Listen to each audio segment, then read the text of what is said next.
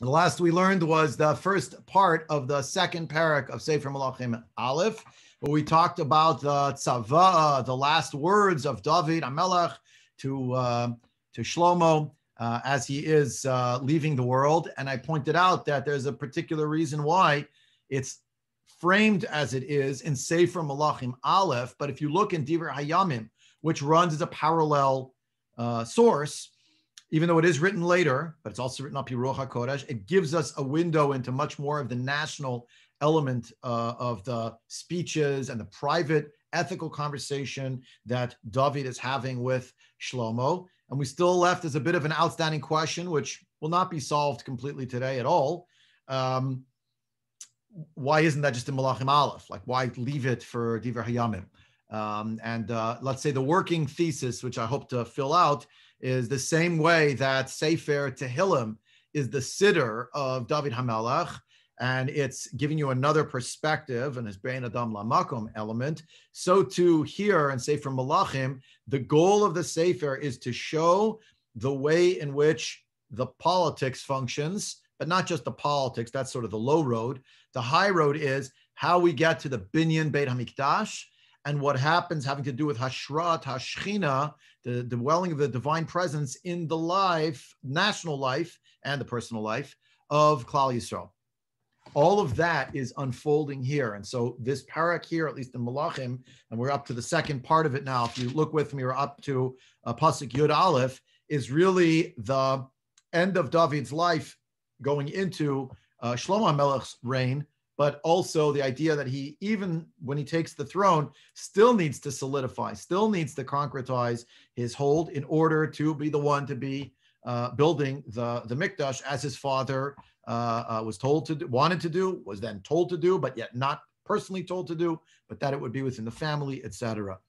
And um, and therefore we, we hear this whole story starting in Parak Aleph about the an embattled and maybe um, uh, somewhat more uh, either infirm or inward, or um, you could even say quarantined, uh, withdrawn, David Hamelach, and that things are happening outside involving particularly Adoniyahu ben Chagit, who is his son as well, but not the son he wants to have uh, serve as the uh, as the next king. But he arrogated to himself, Adoniyahu, that the trappings of power was making ready the inauguration party, and we saw how that played out at the end of the interaction, uh, there is Adoniyahu at the end of Parak Aleph really telling uh, uh, uh, uh Shlomo that he intends to be uh, entirely loyal to him, that he is actually holding on to one of the corners of the Mizbeach in Givon, and he wants the king to promise him that he will not put him to death. And Shlomo does not say, I promise you.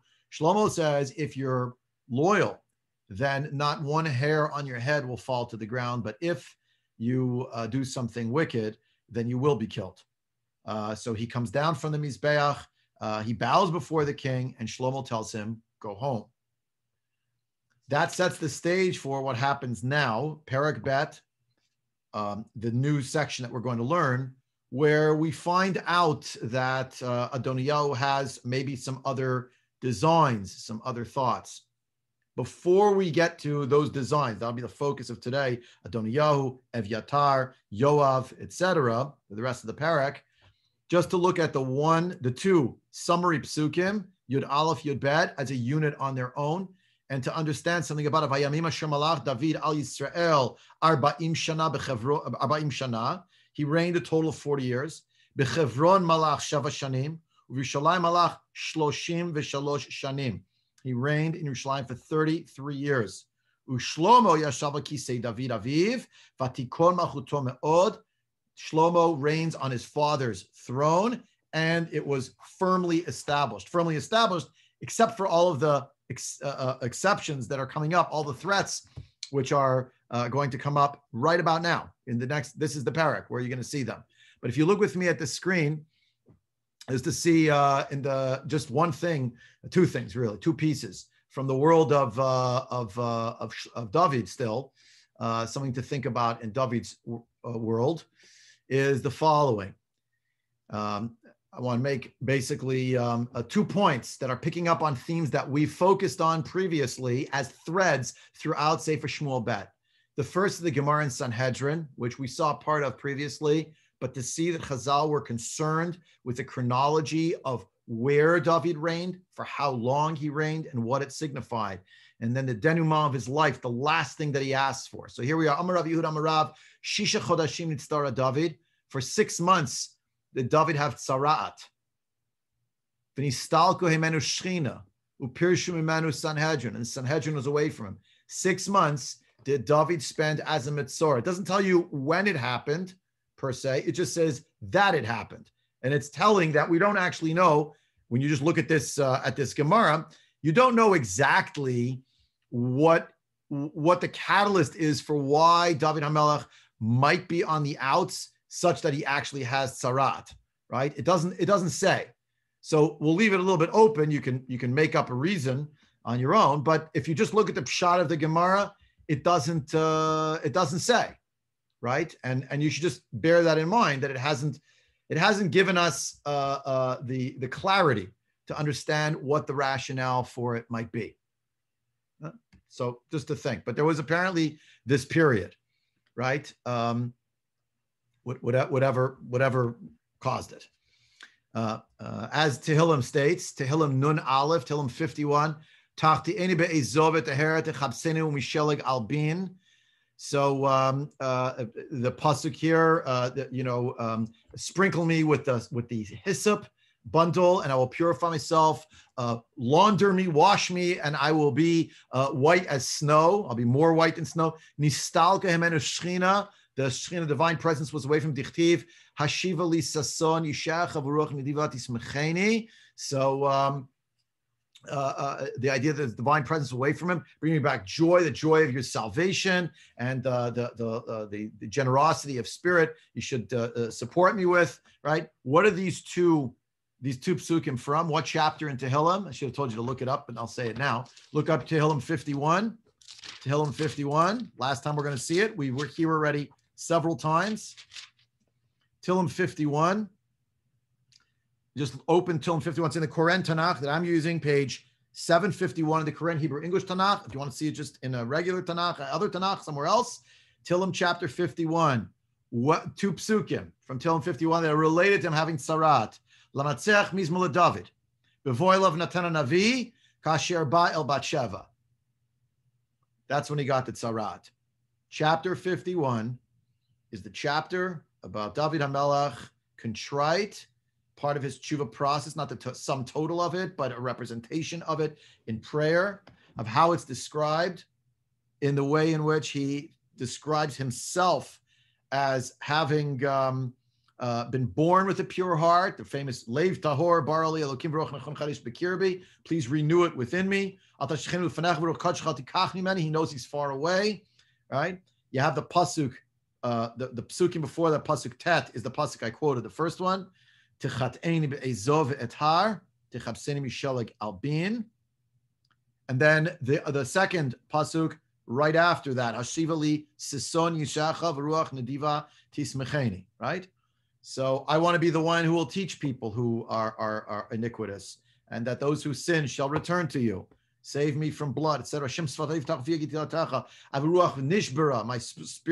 zivche elokim ruach nishbara, lev nishbav nivkel elokim lo tivzeh beautiful psukim. They're all about a contrite. David HaMelech wants to get closer to Kadosh Baruch Hu. When? In the wake of that event, in the wake of what happened involving Bathsheba. And that's here the six months that David was Nitztara on account of, doesn't say when it happened, but on account of the the the, the sin with Bathsheba. Uperish from Sanhedrin, Sanhedrin away from him. There's a passage from Kuf Yotet, Yeshuvuli uh, uh, uh, Echa. That's Kuf Yotet is the chapter of Tehillim. It's eight verses per chapter per um, letter of the alphabet. So this is one of the psukim. Um, and I'm not I'm not sure I could fit that in chronologically as something per se, but it's it's a pasuk and the idea that the Sanhedrin was away from him. And then the Gemara goes in to try to understand how do we know that there are these six months? How do we know there's a six month period? Because it says in our parak, it was a total of 40 years. And then it says Bechevron Malach Sheva Shanim, that's seven. Yerushalayim Malach, uh, uh, uh, excuse me, Yerushalayim Malach, and in Yerushalayim he reigned for 33 years. But when you look up the pasuk in Shmuel Bet, it does not say that. In Shmuel Bet, instead, what does it say? Right? It says seven years and six months. And it doesn't mention these six months. So in one place, to sum up, if you're getting confused with the language, in one place in Sefer Shmuel Bet, it makes clear that David was seven and a half years in Hebron. But then it says that he was 33 years in Yerushalayim, total of 40. So six months were lopped off. Where are they? No, the Gemara says they do matter, but he didn't reign for six months. Shma mina nitztara. He was six months off the grid. Six months he had sarat, and for six months he was not. He was not. not he didn't have anyone with him, right? So the question, of course, is: so when was this six months? When did it happen? Anyone want to volunteer? When do you think that there was a six month period that he was away from Yerushalayim, was away from the Sanhedrin, had Sarat, was down and out, and it's hinted at it's something that occurred that kept him away from being home. The Avshalom rebellion. Exactly. Which means that the chronology goes like this. There was the event in chapter 11 of the last book. There was the, the rebuke in chapter 12. And from chapter 12, pretty much until the end of that Avshalom episode, we have the reality of David losing, suffering, in pain, in torment, and then on the run. And after the event happens, remember we saw in the, the Navi, it doesn't say that he went back five minutes later. He seems to be taking his time to get back to Shalom. Why? The Gemara says there was something else going on. The man was afflicted with Sarat. Not only that, but more than that, we have the reality of what he asks Hashem at the end. Amar Fanav, he said, Master of the universe, Ribbon Shalom, Macholi al Oto Avon. Please forgive me for that sin. I mean, this is a great way to close the life of David HaMelech, the greatest Baal Tshuva, uh, the paradigm, the paradigmatic Baal Tshuva. But at the end of his life, he's still saying to Hashem, please forgive me for that sin, that sin. Because everybody knows what it is. I mean, again, I hope I've shown you over years now of learning that this preposterous idea that people drag David Malka Mashiach's name through the mud is uh, is just preposterous. It's preposterous to me that a Jew should do such a thing. A person doesn't know anything about Torah, it's another thing. But you should speak ill of David HaMelech. The way Chazal explained, the man at the last minute of his life still saying, no, no, no, you know, please, I'm asking you, Hashem, give me a pass, you know, forgive me. Not give me a pass, but forgive me the whole story of his life from the moment of that event had implications, ripple effects. So what happens? God says to him, Machulach, I forgive you, right? It wasn't enough. So what is Seimi ot letova v'yirusonai ve'evoshu ki at Hashem chamtani. I'm asking Hashem, send them, send me a sign that I'm back in your good graces. Like let everybody know. What is what is Hashem saying back to him? Uh, I, that that I can't do for you. I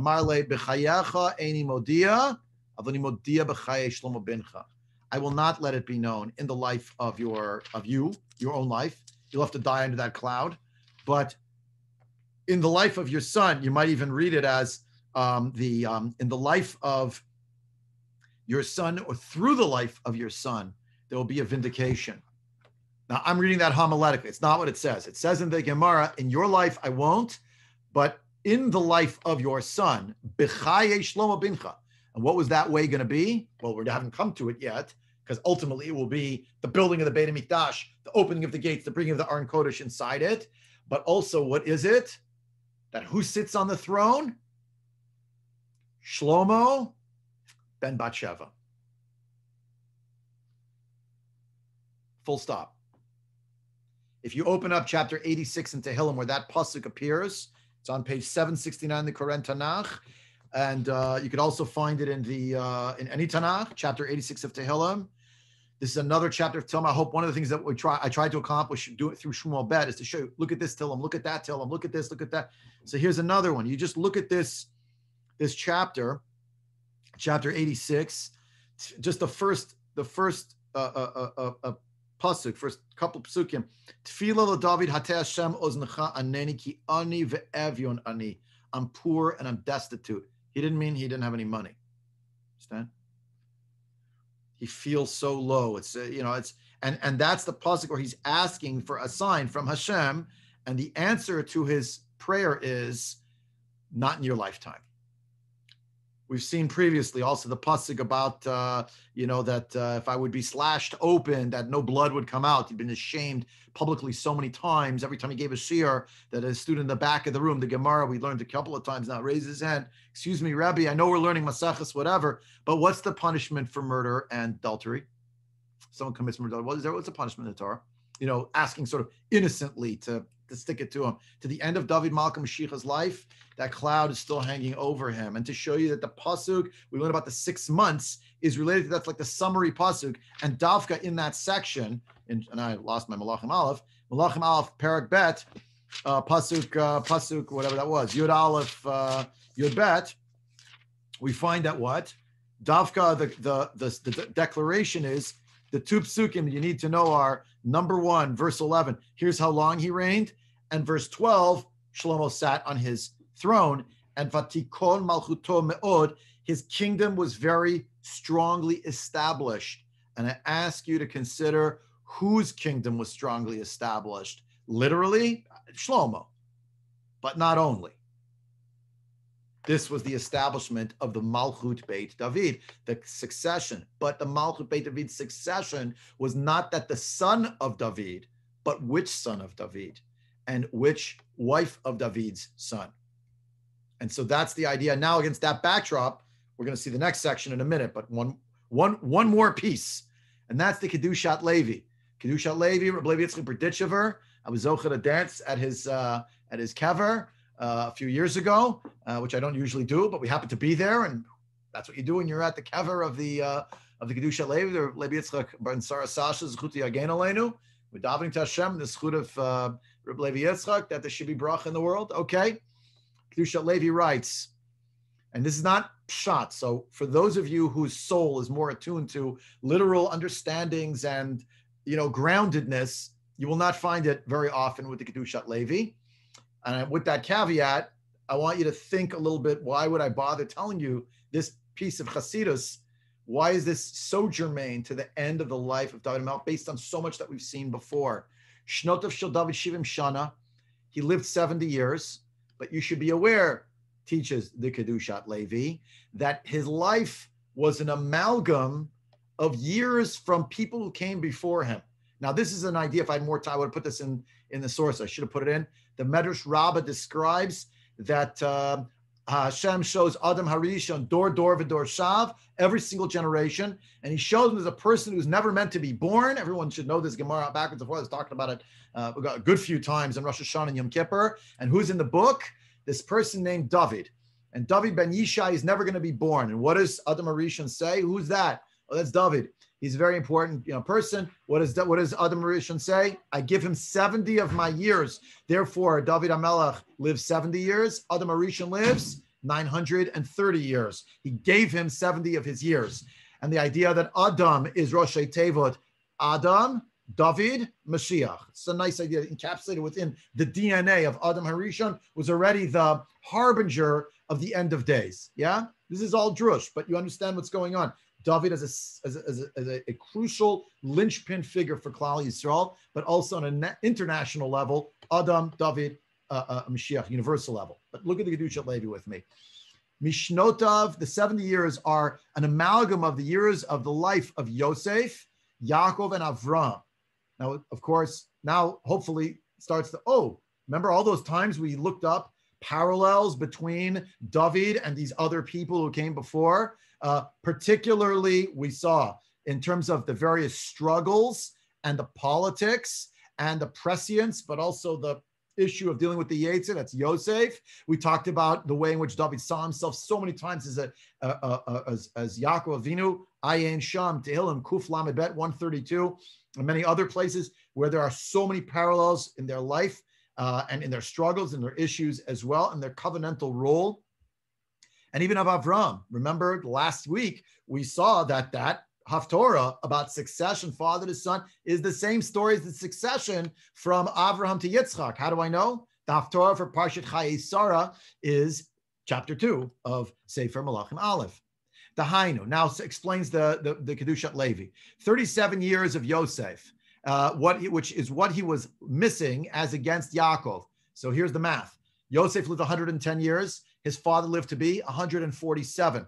So that's 37 years differential. So the 37 years differential that Yosef could have lived the number of years that his father lived, that was given over so that David could have a life. Literally have a life, not get a life, but to literally be able to have life. Okay. From Avram, he got five years as against the five years of Yitzchak. Remember that Avram Avinu lives 175, Yitzchak lives 180 years. What happened to the five years of Avram Avinu? The Medrash has uh, its idea that Hashem takes uh, Avram away from the world uh, five years early, than he should have lived 180 years, a beautiful round number. Why did he lose five years? It wasn't his fault. He shouldn't see what terrible way Esav became, right? Let me just finish the piece, Larry. Hold, hold the thoughts. I just, I got it. Let me just fill out the idea. So that's five. So I'm 37 plus five. Yeah. We Shayakov, Shalavram, Shanim. We have here 28 years of differential from the 175 of Avram Avinu down to the 147 years of Yaakov Avinu, that's 28. So when you add Beninsa Shnot of Mavram, V'Yakov Shlosha Ushloshim Shana, that's uh, 33 years right there. Neged Zemalach Shloshim Shlosha Ushloshim Shana Al Kol Yisrael. For that, David uh, David Amelech reigned over 33 for 33 years. All right, yeah, 28 plus five. For 33 years did David Amelech rule in Yerushalayim over all the tribes, just like Avraham and Yaakov are patriarchs of all of Klal Yisrael. Certainly Yaakov, uh, Avram Avinu. We see there's the winnowing process going on. Keep it. The other seven years was not over the whole nation; it was only over his tribe. Which were the years truly that David received from the from the forefathers? The latter 33 years of his life, those are the ones the end of his life, so to speak, was propelled forward by the, the, the, the legacy of the forefathers. Yeah.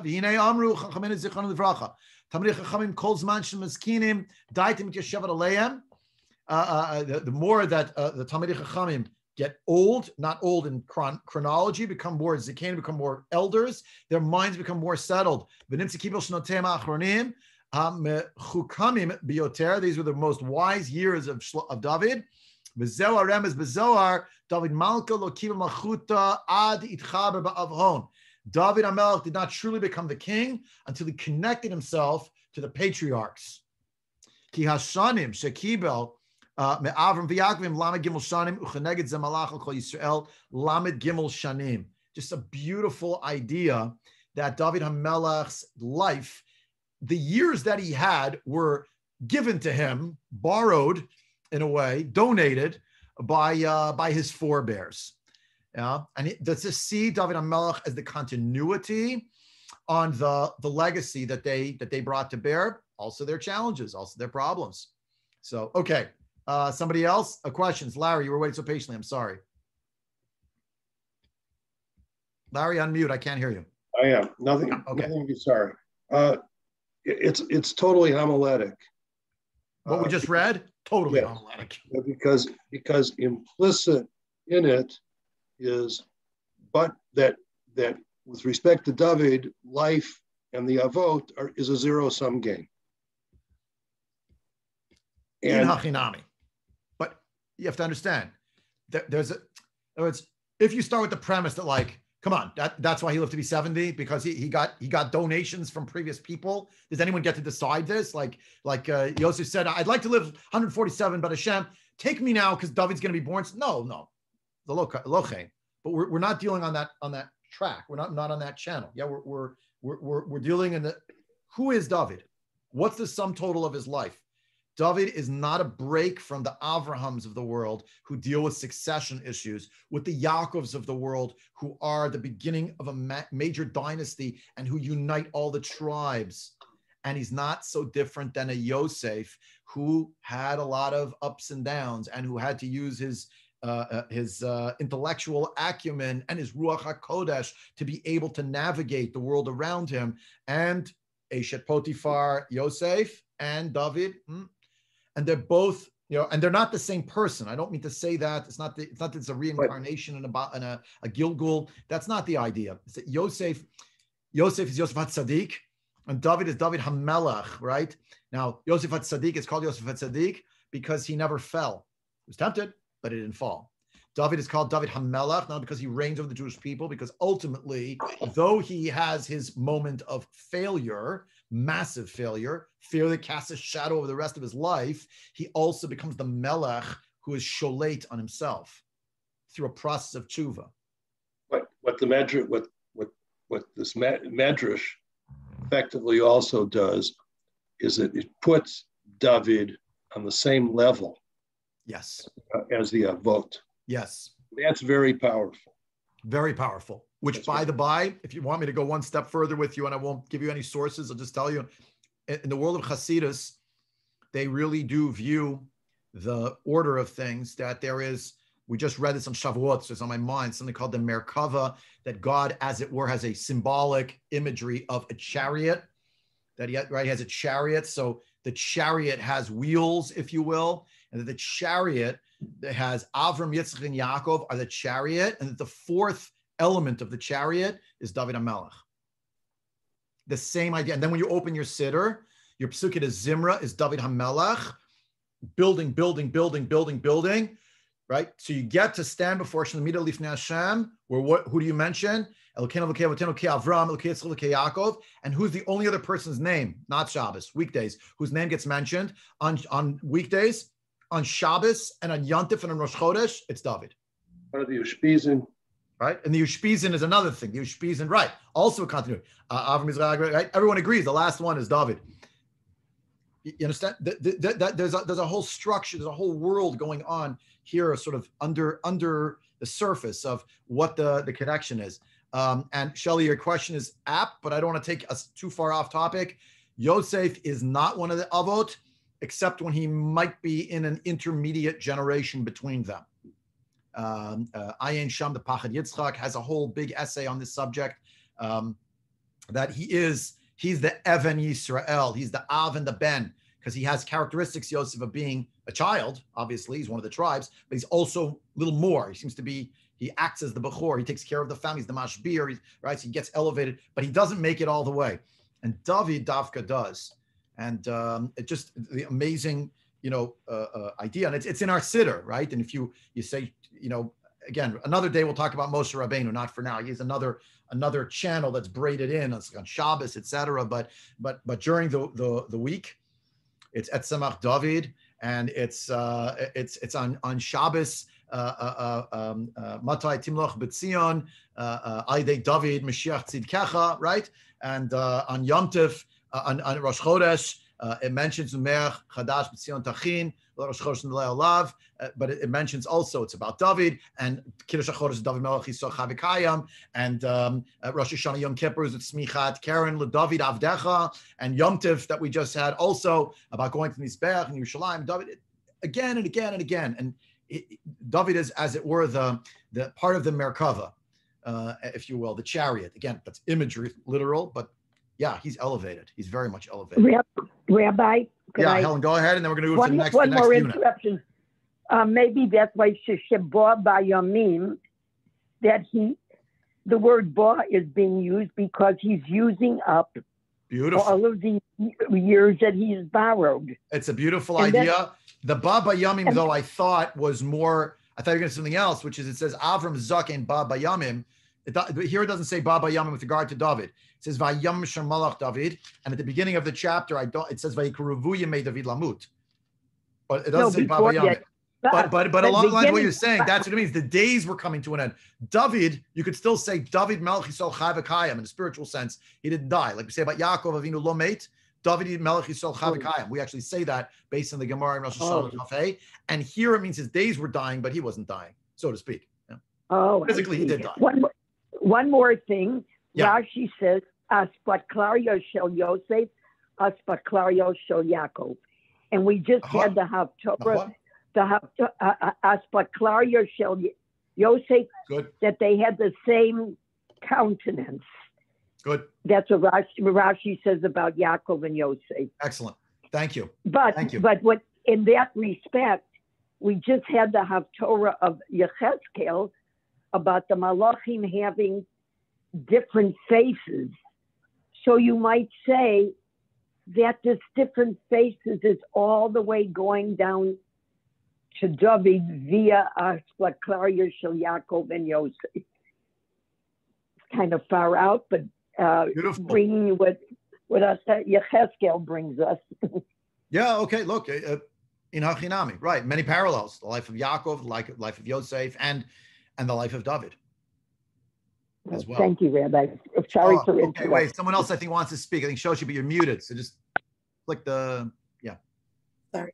Uh, quick question. I'm just wondering why Sanhedrin. What's their the logic of of tsaras? Usually, tsaras is directly related to lashon hara. So what's the kesher here? Not not not not only.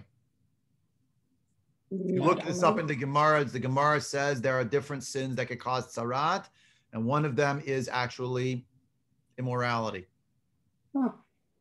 sexual immorality, to say it plain. But you know, how should I say? The Chofetz Chaim Heritage Foundation, you know, they they focus on lashon hara, and the drushes in shul where you have everybody together, including kids and and that. You're not going to start, you know. Uh, but but that, that that's part of it as well. Okay. And that's and that's that's what he gets. And and sad to say, you know, uh, the, the, the Sanhedrin was porish from him because as great as he was, they were also saying, you know, why is this happening to him? You know, if he's really so great, uh, there's a sign from Hashem that maybe he's not really. Yeah, in other words, the account of David HaMelech doesn't even close when he dies. It's still going to keep going, and it's and that's the that's the next section. That's page 404 in the Koren Tanakh. That's the next section. Is that Adoniyahu ben Chagit didn't get the memo, and so he's still figuring out. You know, wait, Larry, you have your hand up still, or that's from leftover? Okay. It's left over. Sorry. Okay, okay, fine. Yeah, sorry. I didn't want to ignore you. Pasuk Yud Gimel. See the next the next section. Vayavo Adoniyahu ben Chagit el bat Sheva Ein Shlomo vatomar Shalom boecha vayomer Shalom. So he comes to see her, and he asks. She asks, "Are you coming in peace?" Because it's not clear if he's if he's coming in peace or not. Now you only ask that if you're not sure, because maybe he's coming to be threatening. No, he comes in peace. Vayomer. Davarli elayich vatomer daber. I can I ask you something? Vayomer at yadat ki li hayta hamlucha va'alai samu chol Yisrael pnehem limloch vatisov hamlucha vatila achi ki meHashem hayta lo. I mean, mind-boggling. You know, says Adoniah to the mother of the king, that I was really the king and the whole Jewish people chose me, and they turned towards me. But uh, it was turned in another direction. Vatisov hamlucha, and now it went to my brother, because that's from Hashem. So Adoniah actually comes to the mother of the king to tell her, you know, I, I just want to just to clear the air between us. I'm really deserving to be the king. Your son is not, but what can we do?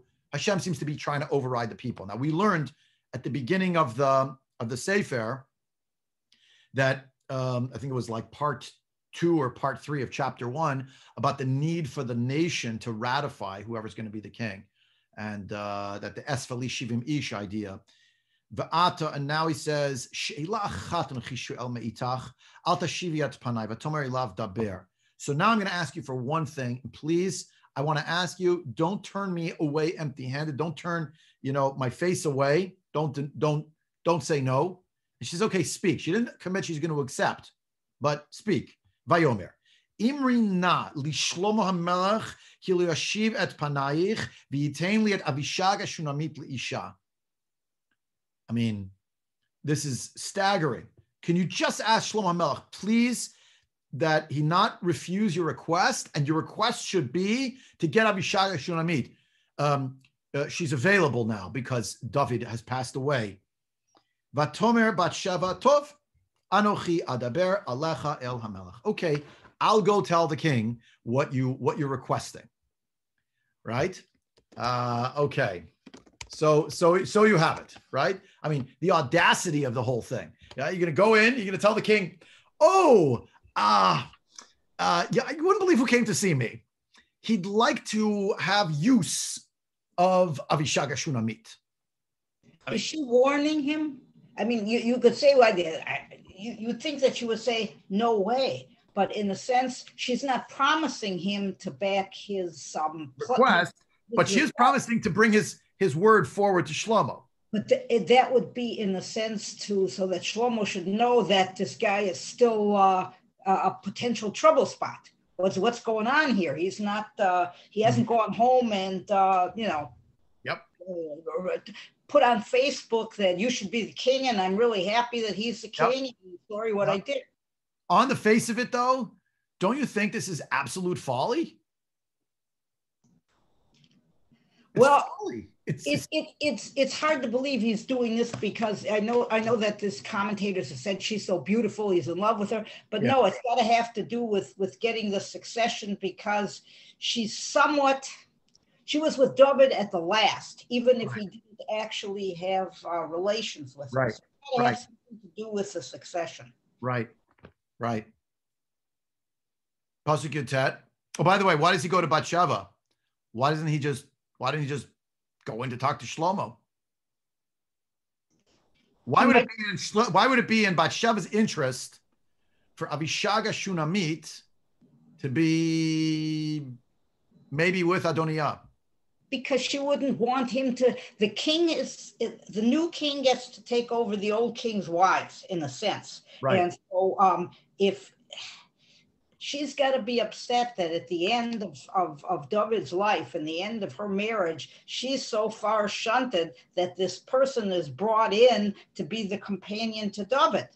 And so I might not have said it exactly that way, but Shelley, good that you said it. That might have been the calculus of what you know, because otherwise, why didn't you just go in to talk to Shlomo? Hey, brother, can you help me? You know that that woman from from David. You. But if if part of the dynamic is that she, uh, Bathsheba, waltzed into the room and is trying to talk to David, and Avishag is there, it's like, right? Um, and and and but otherwise, it's just it's folly. What is Adoniel thinking? What is if, he thinking? If if David did have relations with her, yes, wouldn't she be Asura Zarayot? Exactly. And that would be another sign. If he didn't have relations with her, as the Navi itself testifies, then technically speaking, she is not forbidden to be with somebody else who is not the king. And the greatest signal of that being true would be if she actually was then married off, shall we say, euphemistically, to someone who is not the king. But she would be muteret also to Shlomo. Yeah. And and, and I, I don't I don't mean to be crude or or mercenary, but she would be ladies, women, don't get upset as the property uh, to which Shlomo would succeed. I mean, that's not maybe again not the way I would phrase it, but the idea that she belongs to the kingdom so to speak. That that is how it worked in antiquity. That's a reality, whether we like it or not. Reality was that women were treated to a certain extent, the whole socioeconomic structure was treated as chattels. Right. Not in Judaism generally, by the way, but in the royals, in the royals, yes. But but that's another discussion, not for today. Because taking right. it too far afield, and I'm, I'm watching the clock. I got I got a hard stop at 10:30 because I got I got calls about the situation going on now. So still I'll trying stop. to work things out. But no, but but the point is very well taken. And here's the thing: when Bathsheba goes into Shlomo and, pre- and presents it to him, you know, you just your eyes go wide, like, what is the folly of this man? And she knows. Pasuk pasuk um, uh, uh, uh, uh pasuk uh, uh, yud uh, yud tet. Actually, before we do pasuk yud tet, flip with me to the book of Esther. The book of Esther chapter 6. In the book of Esther, it's page 891 in the Koren Tanakh. If you're using another Tanakh, it's Esther chapter 6, verse uh, 7. Vayomer Hamelach hafetz bikaro levuch malchut asher lavash bo Hamelach asher Hamelach malchut birosho The, what should be brought for the man who is uh, finds favor in the king's eyes? The royal raiments, uh, the horse, and the crown. Pasuk tet. And the Laton halavush, vasus, al yad ish, misari hamelach apartamim vilbishu et ha'ish asher hamelach havitz bikaro v'kur lasus b'rechov ha'ir v'kur lefan of kacha yaseh la'ish asher hamelach havitz bikaro and uh, take the horse, it uh, takes the, the, the raiments and the horse and they should be put uh, onto this man and they'll ride him on the horse and they'll call before him ish. And what doesn't get mentioned the second pasuk right after? What is not mentioned? Vayomer Amelach La'aman Maher Kacha the Lavush. But Asus take the clothing, take the horse, Barta, as you said one pasuk ago. But as many of the Mefarshim point out, what did Haman not say in the second pasuk of his two pasuk speech, and what did Achashverosh therefore drop from the from his own repetition and sort of uh, uh, uh, uh, acceptance, the word crown is missing. That's not accidental. The fact that Haman said, "Give the crown," no. Some of them are fresh. I don't remember now who it is. Maybe it was Malbim. You know, why did he drop it the second go around? You could say, no, it meant the clothing generally, so that therefore in the next pasuk, in pasuk number seven, uh, number uh, eight, excuse, uh, no, I made a mistake twice. Number nine, it makes sense that it just said the clothing, which includes a crown. Yeah, but why did you single it out a pasuk earlier? Now you didn't single it out again. And then when the king repeats it, he also leaves out the word crown. Answer: because that was a step too far. And some believe that it was actually part of the the slip of of of Haman that was giving the king reasons to believe he had designs on the kingdom as he says the person should be honest. You wear the crown? That's too far. And the idea back here, what's now back to page 404. What's what's uh, Adoniah saying to uh, to Bathsheba? Um, your son does have Hashem on his side, and that's very important. But I really have the people. So give me something. Give me something so that I could save face. So even though Hashem has decided, I accept it's an act of God that your son is the king. I've done my tziduk hadin, but really the people are with me. So at least if you say that Abishaga Shunamit really was never with David and that uh, she really is, uh, you know, uh, uh, uh available, so that would be a good sign. Also, then she's uh, not reminding you of the dynamic, perhaps, or lack of dynamic between you, if there was one, right? if there was one. I hope I'm not imputing too many modern ideas about jealousies uh, into the story. I don't I don't know if that it's necessarily true, but maybe. But here, pasuk Yud Tet, verse 19, Vatavo Vatsheva El to speak to him about Adoniyahu. Vayakam Melech likratav vayishtachula vayeshev uh, Uh, al kiso vayasem kisei le'ema Melech vateshev limino. How much power does she wield? He made her a seat to sit next to him. And he bows down to her. He's the king. The king's not supposed to bow for anybody, get up for anybody. But for his mother, he gets up.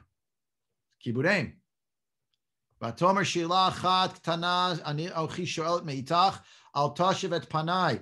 I'm going to ask you a question. Don't ignore my question. Don't deny me the request.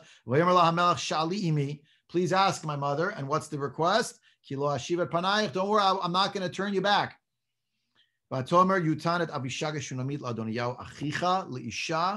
Can you please give Avishag over to Adoniyahu? Clearly, it was Shlomo's decision.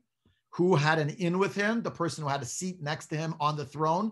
It doesn't say it was under under him, but it was literally she sat to his right side. Vayan Hamelch, she's the queen mother. Yeah, By Vayan Hamelch Shlomo Vayomer Leimo. Vilama at shoelet et Avishag Shunamit Adoniyahu. Vishali lo et amelucha. Ki hu achi agadol mimeni velo uleviatar yav ben Seruya. So why don't you just ask for him to become the king? This is Shlomo, right? He, cut, he cuts it down right away. Like, come on, everybody knows why we're here and what this is about, and that's that's just not going to fly. That's just not going to fly, right? So there you have it. Exactly here, Bathsheba reports it to Shlomo, and um, uh, Shlomo right away, you know. Uh, I don't know that we know uh, a hundred percent one way or the other whether Bathsheba understood what Adoniah was about. Seems patently obvious, I think, to all of us when we read it. or if there were other reasons why maybe she did think there was some rationale. Now, I want to show you what the Malbim does with this because he sort of repatriates the folly of, uh, of to see a little bit more in depth that it wasn't necessarily that ridiculous. How stupid could he be to ask for such a thing? He told the mother of the king, I'm really the king. The Jews want me, the Israelites. Why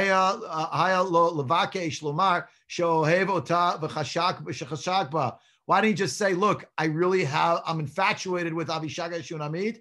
Help me to gratify my uh, desire, and uh, that's all I'm asking. He actually made it political. He actually said, I'm, I'm really the king. And then, even more strange, he just said things that were, he was stabbing her with a, with a, with a sword. And she just said, Yeah, okay. And then at the end, why did it mention Aviatar and, and Yoav? If you look, Aviatar and Yoav are also what Shlomo says that he's so upset, right? So, at yadat kili haitam lucha. Hotza'azu balat shtei panim. There are two facets to what he was saying. Omer, I'm really supposed to be the king. Imitzad Toloti, based on my birth order, Shani Abachor. I'm the Bechor. Now that Amnon is dead, Avshalom is dead, etc. And Kilav, we never find out what happens to him. Vazot uh, Amar Kili Haitam Lucha, was supposed to be for me by, by the numbers, by the age order. The imitzad ratzon ha'am shishmolan. If you want to say it's about popular acceptance, he said the Jewish people had turned to me. But what can you do? It was turned away, went to my brother. It's not in the right place. We all know there was a displacement. What can you do?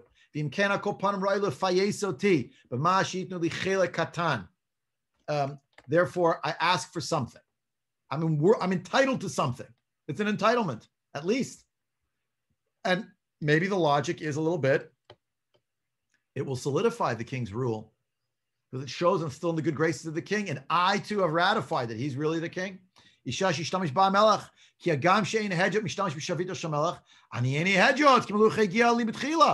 cannot deny that I have all the people standing behind me, and it's very good. It's amazing. It's wonderful that Hashem is with Shlomo. That's lovely.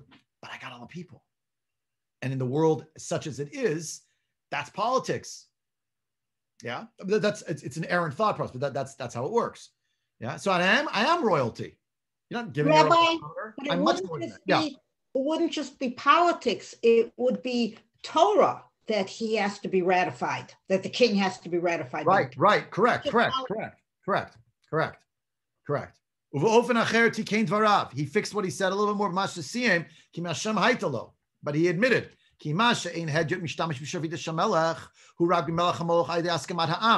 the only time that you're not allowed to take that which belongs to the king, uh, like as Larry was saying before, the property of the king or part of the royal retinue, that's when the person rules on the agreement of the nation.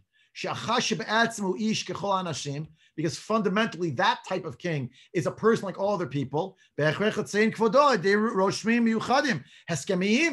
There, that person is the trappings of royalty to the nth degree because their whole rulership is that they have to show how they're above everybody else. How do they do it? With the royal trappings, royal raiments, and royal people, etc. And a commoner cannot use anything that belongs to the king. That's how a king who rules by common consent and only common consent needs to show their honor and their supremacy.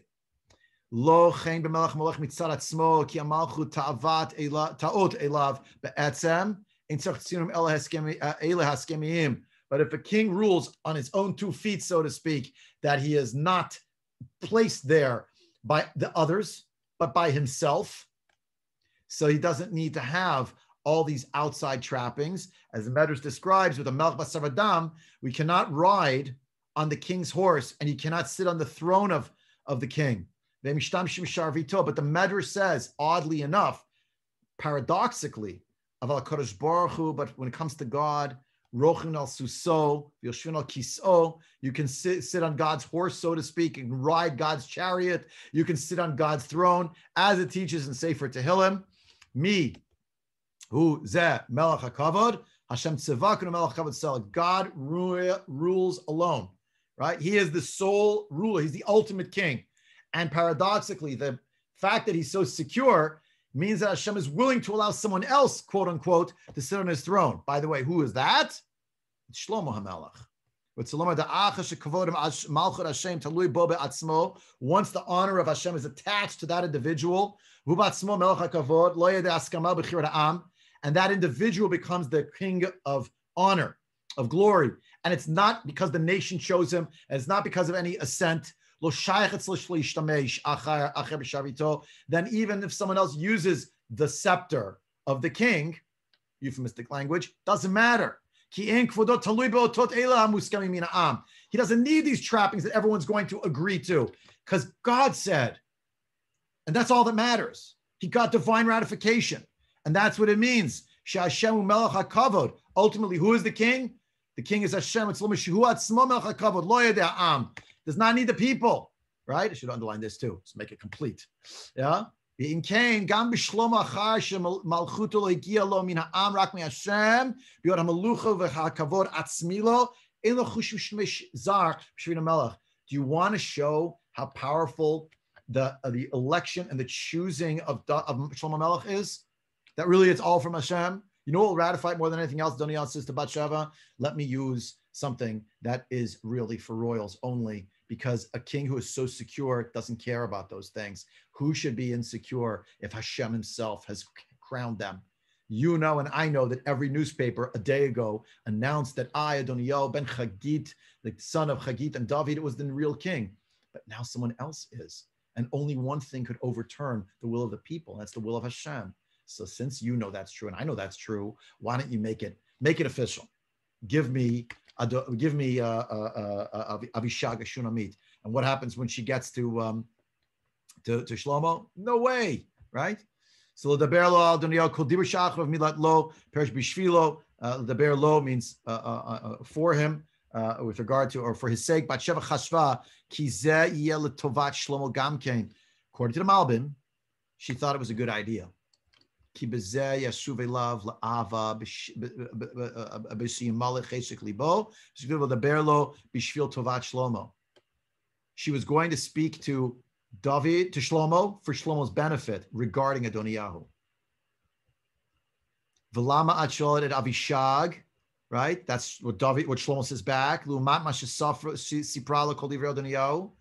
right? Shigdim, she explained.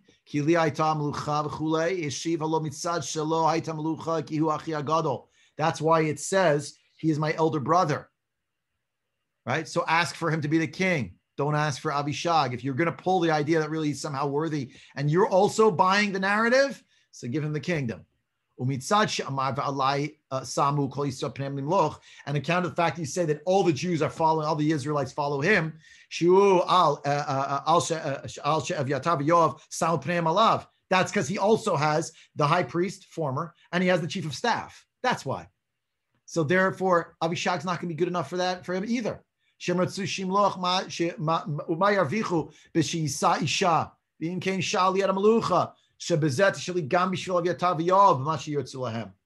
Yeah, so he says, no, he pushes the point.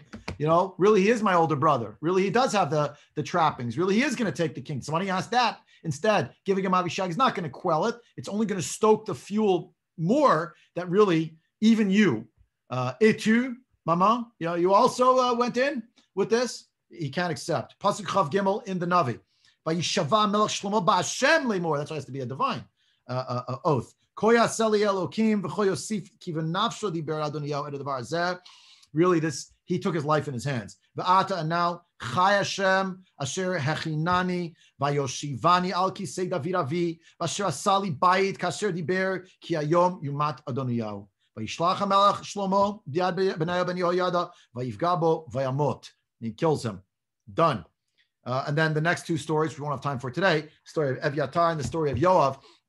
which happens next, right? So he the the Malbim uh, tells us, Vaishiva HaMelech, right? Kibinash Diber, hello, Diber, Ratzalomar, hello, Diber, uh, hello, Davar Zeh, Diber B'Mesirut Nafsho, Kibivadai Evin Sheish Lo Sakana, B'She'ela Azot. He knew, he knew the risks. He went in anyway. ושביל נישואי אבישג לא היה מוסר נפשו, כי אם, אם לא בשחושב תחבולות, שבזה שישתמש בשרביט של מלך, יוכל למרוד. Shlomo saw right through it. He said, "This is just a ploy," and therefore he gives the, um, you know, the uh, the uh, the oath, right? Uh, the promise is that I'm going to be a person of of uh, of tranquility. I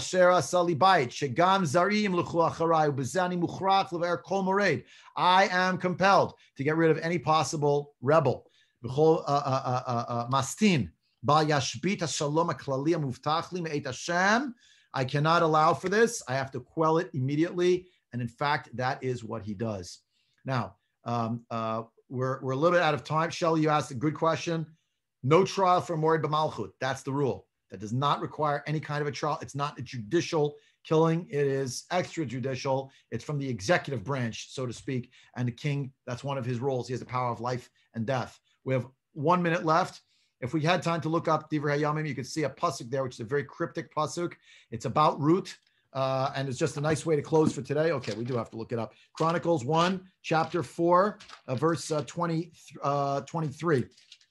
Chronicles 1, chapter 4, verse 23 is a strange name given to uh, these people. Uh, B'nai Shimon, no, where am I? Chapter 4, verse 23 yeah, it just gives you this strange uh, name. Hema Yotzrim v'Yosvi Nataim Ugedarim Melech Melachto Yashvu Sham tells you about these people um, and um, that they that what they did. They were they were they were working in, in low low um, uh, um, low uh, uh work.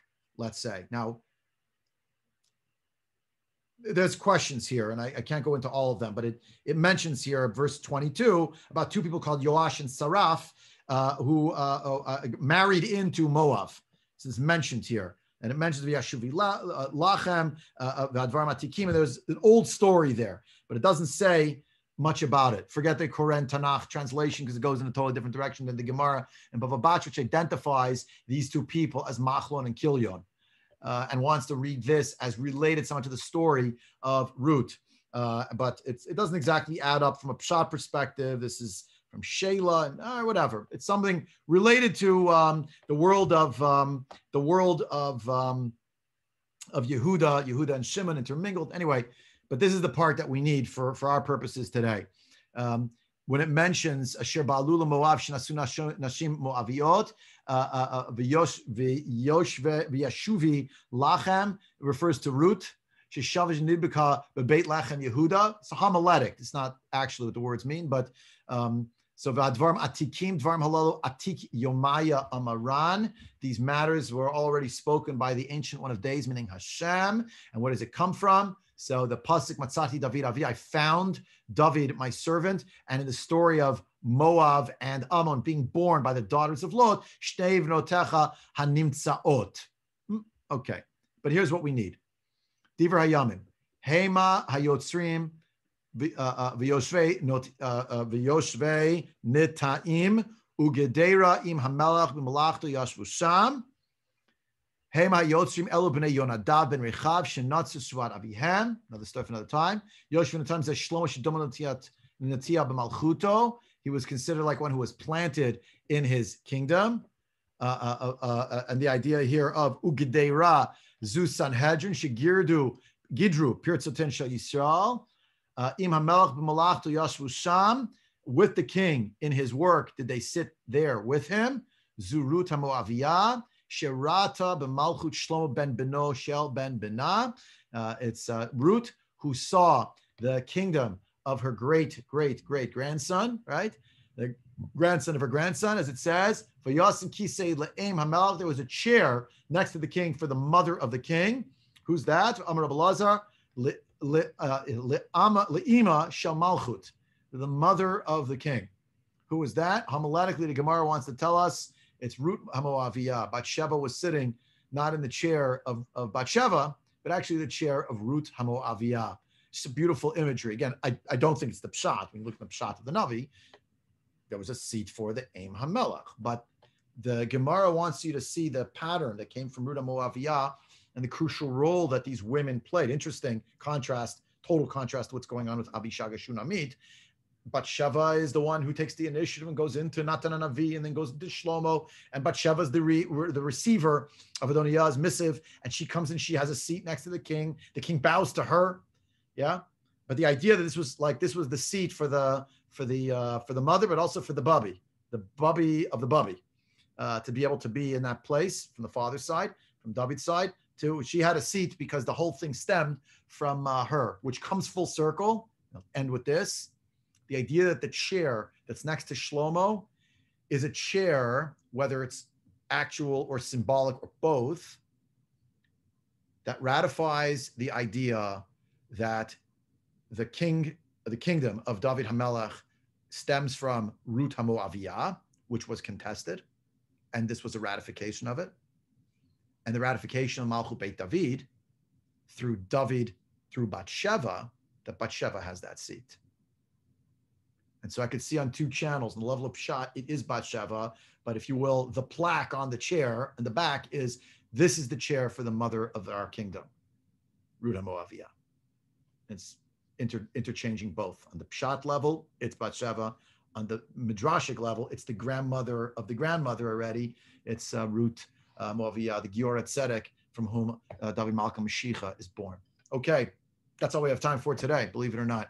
Hope you enjoyed the share. We'll get together, God willing, next week. We'll see what happens to Evyatar, what happens to Yoav, what happens to all the other people in Perek Bet. Not going to be pretty, but we'll see how it happens. And uh, looking forward to learning together at that time. Have a great day, everybody. Kol Tuv.